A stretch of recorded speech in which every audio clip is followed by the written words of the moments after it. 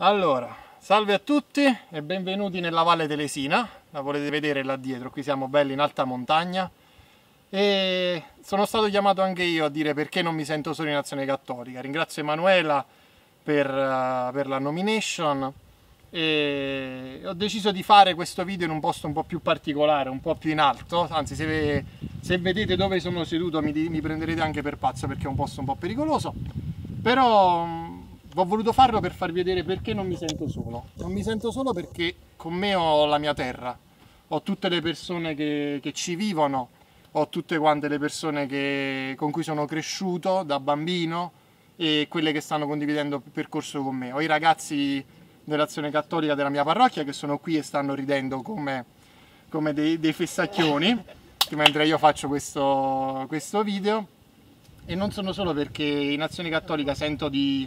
di riuscire ad essere me stesso, levarmi tutte quante le maschere, tutte quante le, le, le coperture, le protezioni e l'armatura che, che, ognuno si mette durante, durante la vita. E non mi sento solo soprattutto perché,